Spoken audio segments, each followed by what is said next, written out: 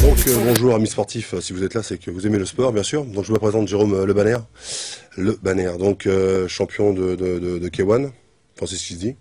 Euh, voilà, je- je- si vous êtes là c'est que bah, vous êtes un peu pour le même, vous venez pour les mêmes raisons que moi. Vous voulez savoir un petit peu qui est Fabrice Alouche, hein, ce, ce, ce- ce- nom vous dit quelque chose.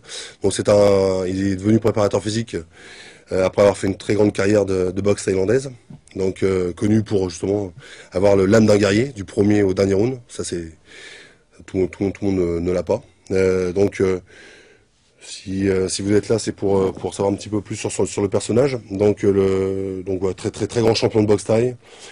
Euh, connu dans le donc dans, dans, dans, dans le dans l'Europe et le monde entier pour euh, justement pour ce cette pugnacité qu'il avait là justement à, à jamais euh, jamais lâcher. Et je pense que c'est ce qui enfin moi c'est ce qui me, me, me vient vraiment à l'esprit lorsqu'on parle de Fabrice c'est l'esprit guerrier. Il y a une petite queulette là qui l'esprit guerrier c'est un grand guerrier. Et donc euh, et donc voilà je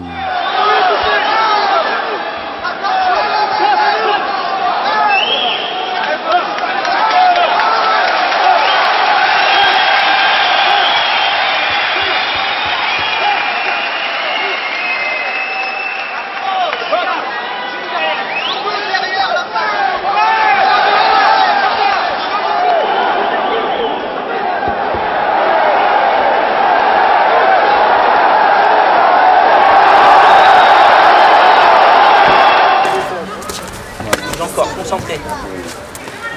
Allez, allez, concentré, on fléchit les jambes. Va te chercher, bouscule-le, il est fatigué.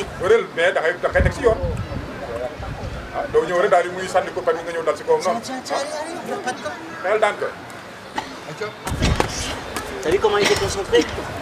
Il était là, il s'est tourné, il était prêt. mais ko ñëw ko moo Get through my phone, where the players dwell. It's fast more cash from Bill Fidel. Inhale, make you feel.